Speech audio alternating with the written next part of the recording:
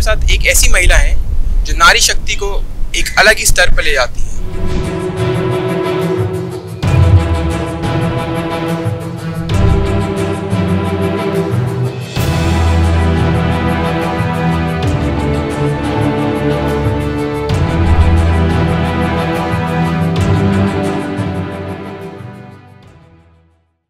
नमस्कार, आज मैं राहुल गर्ग आपके साथ फोर्थ कॉलम के साथ जुड़े हैं आप पहली बार। आज हमारे साथ एक ऐसी महिला है जो नारी शक्ति को एक अलग ही स्तर पर ले जाती है, जिन्होंने आठ, यहाँ पे रह रही 800 महिलाओं का काम करने का तरीका व उनके साथ रहकर उनको प्रोत्साहित करने का एक अलग ही जोश दिखाया है। मैं आपको मिलवाना चाहूँगा ऐसी ही महिला से, जो इस कार्य में सबसे प्रगतिशील और महिलाओं के लिए एक अलग ही मिसाल कायम कर रही है। मैं आपको इंट्रोड्यूस कराऊँगा मिस शबाना जी से। नमस्कार मेरा नाम शबाना है और मैं यहीं पे पली बड़ी हूँ यहीं इस स्लम में ही रहती हूँ और मुझे आ, सोशल वर्कर बनने का शौक है और मैं पूरी कोशिश करूँगी कि मैं अपनी समाज सुधार में पूर, अपना पूरा एक सहयोग बना के रखूँ और साथ साथ अपने महिला अपने स्लम की महिलाओं का भी साथ दूँ।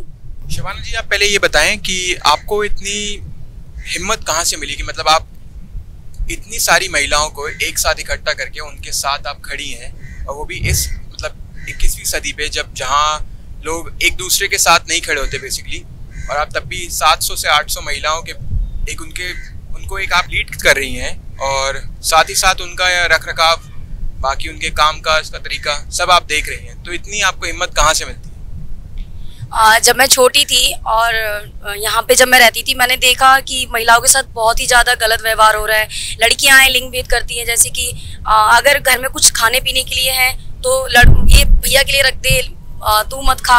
ये भी चीज़ मैंने देखा है तो मैंने देखा है क्या वो लड़की जो है, क्या वो इंसान नहीं है, वो क्यों नहीं खा सकती है? घर में अगर कोई अच्छा खाना है अच्छा फ़ूड है तो वो लड़कियों को नहीं मिलता था, लड़कों के लिए रखा जाता है। ये भी चीज़ मैंने देखा है तो मैंने अपने मन में ये सोचा था कि बड़ी होकर मैं इस बदलाव को चेंज करूँगी। और हमारे यहाँ पे, हमारे स्लम में ज़्यादातर ये देखा है मैंने कि लड़कियाँ नाइन्थ आठवीं तक पढ़ लेती है तो कहती है, बस रहने तो बहुत पढ़ाई कर लिए, आगे नहीं पढ़ना है। क्योंकि टीनेजर एज के बाद माँ बाप सोचते हैं कि लड़कियों के अंदर कोई बदलाव आया होगा, उस उस महीने में उसको संभालना बहुत ही मुश्किल हो जाता है।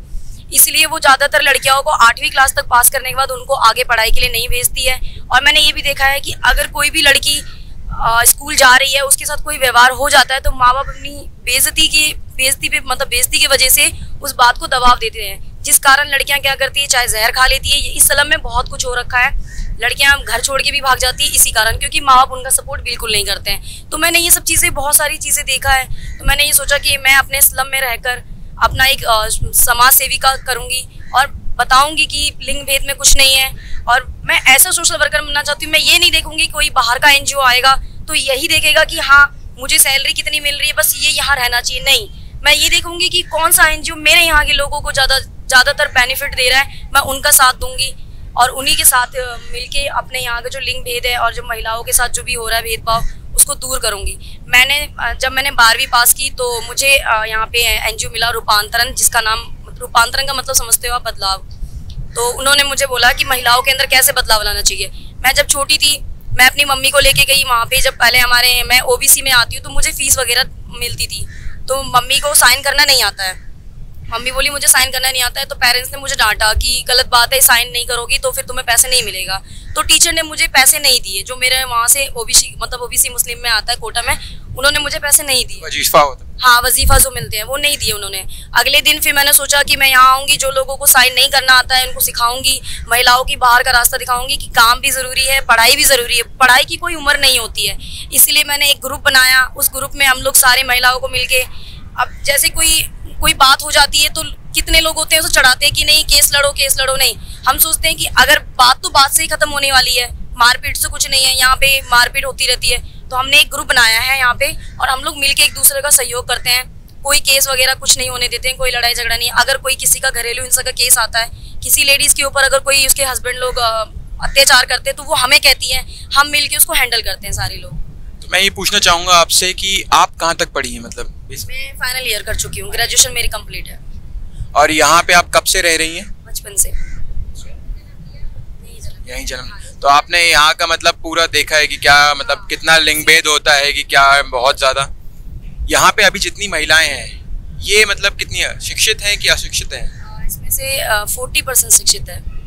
आपने जब से देखा कि जब आपकी माता जी साइन नहीं कर पाई और आपको वजीफा नहीं मिल पाया तो आपको ये बात समझ आई कि मतलब शिक्षित होना इस देश में कितना ज़रूरी है? एजुकेशन बहुत ज़रूरी है।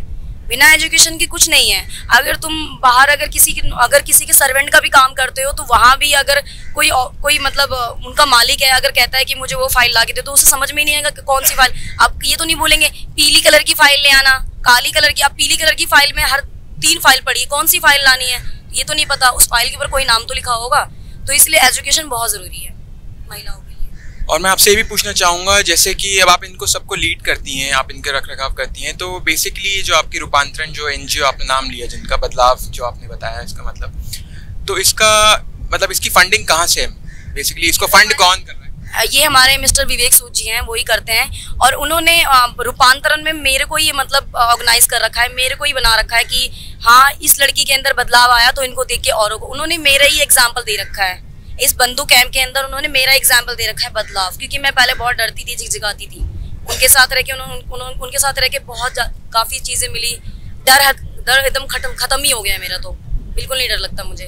तो इस्लाम जैसे आपने जो अपना बताया जो जो इस्लाम में जो इतने भी महिलाएँ रह रही हैं तो बेसिकली वो कितना कमा पाती हैं और कितना मतलब खर्च कर पाती हैं? मतलब जो कमाती हैं, वही अपने ऊपर कर पाती हैं मतलब उससे अपना कितना गुजारा कर पाती हैं? घर का उनका गुजारा कैसे चलता है?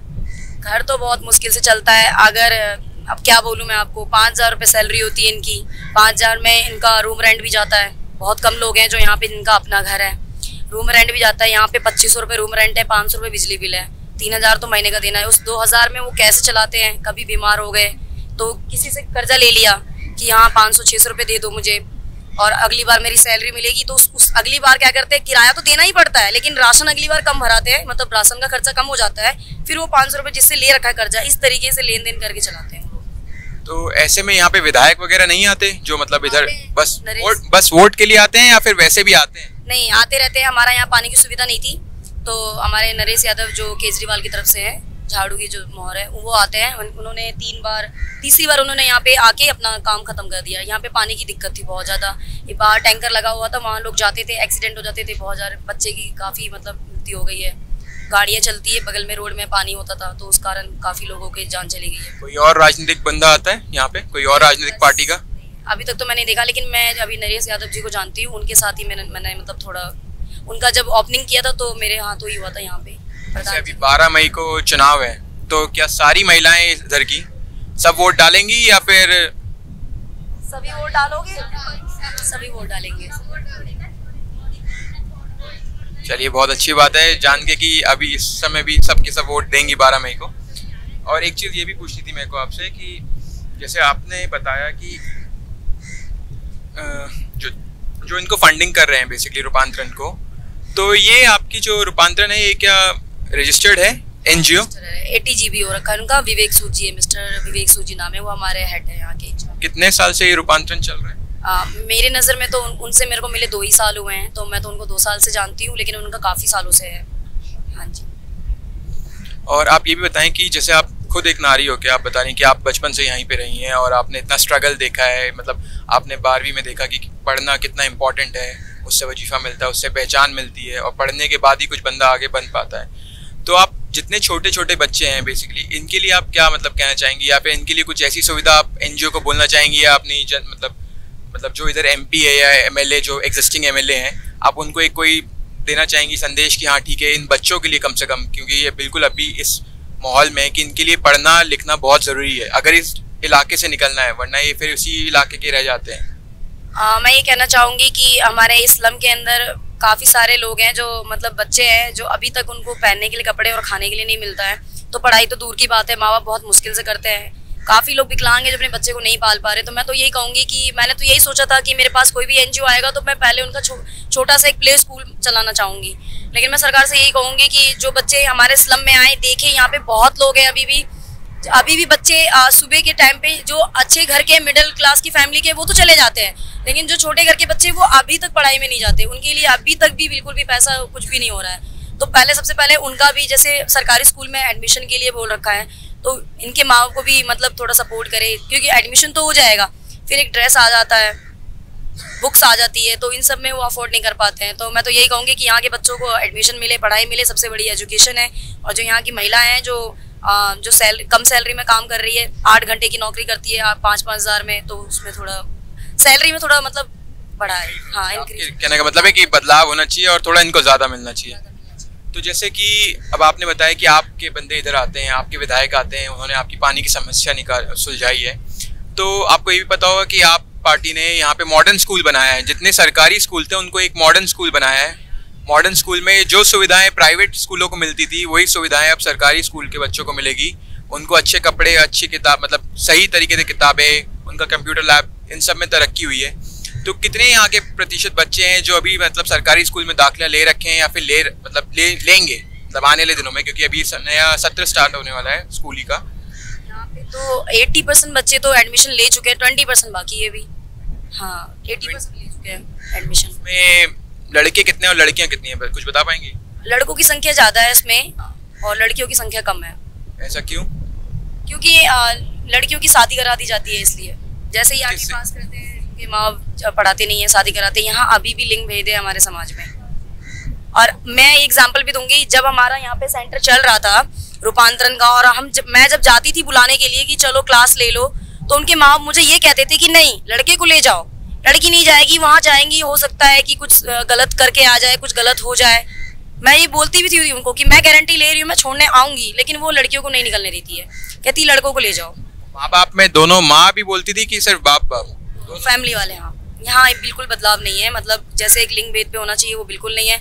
गलत रास्ता दिखा रहे हैं कि नहीं आठवीं तक पास कर लिया तो शादी हो जानी चाहिए बहुत छोटी उम्र में शादी कर देते हैं जिनसे लड़कियाँ बीमार होकर मर जाती है। दिल्ली में रहने के बावजूद ऐसी रूढ़ीवादी सोच के लिए आप क्या कहेंगी? मैं तो यही कहूँगी कि इस सोच को बदला जाए खत्म किया जाए क्योंकि लड़का लड़की में कोई फ़र्क नहीं है। लड़की भी कर सकती है जो लड़का कर सकता है ऐसा कुछ नहीं है।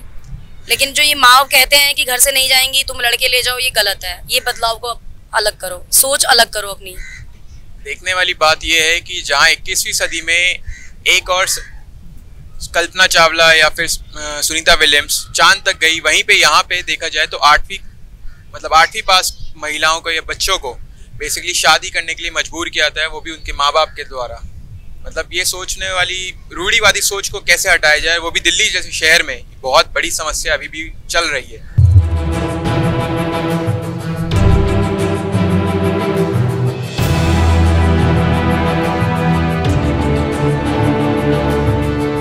आपकी उम्र कितनी है? साठ साल की। आप कोई काम करती हैं घर पे? घर ही पे रहती है। और छोड़ दिया आपका बेट आपका बेटा? एक बेटा करता है मेरा बिलदारी का काम। एक दारू पीता है तो परेशान कर रहा है। उसके बच्चे भी घर पे तीन तीन पियर में रहती माँ बीवी बहू मेरी। तो घर का खर्च कैसे चलता है? अब घर का कैसे बेटा करता है एक बेटी है इतनी तो थोड़ी चार पाँच हज़ार रुपये ले आती है कोठी से करके बस इतना तो टोटल आयु मतलब इनकम तो टोटल इनकम कितनी है? इनकम वही दस दस बारह हज़ार रुपये की तो इनकम है। और घर में रहने वाले सदस्य?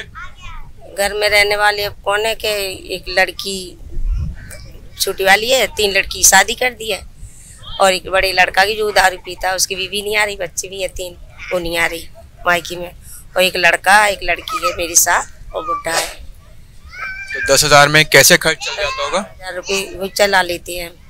हाँ लड़की ले आती है कुछ पे कुछ करती है कुछ बेटा बिलदारी कर लेता है। तो दस हज़ार में मतलब जो आप बता रही हैं अगर बेटी कुछ ले आती है तो मतलब मान लेते हैं हम पंद्रह हज़ार पंद्रह हज़ार आपकी है। तो पंद्रह में इतने लोगों का खर्च मतलब आपको कैसे लगता है? मतलब कि इतनी तो दिल्ली में रह इतने दिल्ली ससुराल में चली लड़की तो बट बेटा है अंकल हैं दोनों बेटे हैं अंकल हैं। लड़की है चार आदमी। आपसे पूछा कि मैं क्या आप इतना खर्च मतलब दिल्ली में आप रह रही हैं और जहाँ पे ले लेती है उधार फुधार दुकान पे ले लेती फिर देती रहती धीरे धीरे करके। नहीं चलता खर्चा तो उधार लेती है कुछ दुकानों से। नहीं इस महीना में नहीं दे पाए अगले महीना में दे दूँ। इस महीना नहीं दे पाए दूसरे महीना में दे दूँ थोड़ा थोड़ा करके। अब नहीं चलता तो क्या करें मजबूरी में रहने पड़ता खाने पड़ता है क्या करें कोई कमाने वाला नहीं मैं करती थी साल डेढ़ साल मेरे को गया बैठे।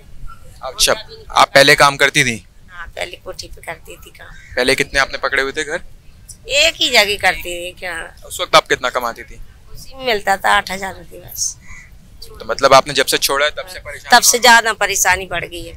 कोई तो लड़का कभी लग गया बेलदारी का कभी नहीं लगा और वो लड़की तो अभी साल ही नहीं हुआ दो तीन महीना से जाने लगी। छोटी वाली तो पाँच हज़ार रुपये लाती उसमें क्या हो तो कुछ नहीं है। आपका नाम क्या है? पूनम चौहान। पूनम चौहान। आप क्या काम करती है? कोठियों में काम करते हैं। एक ही कोठी मतलब एक जगह आप काम करती हैं? कितना कमा लेती हैं उसमें मिलते हैं पाँच।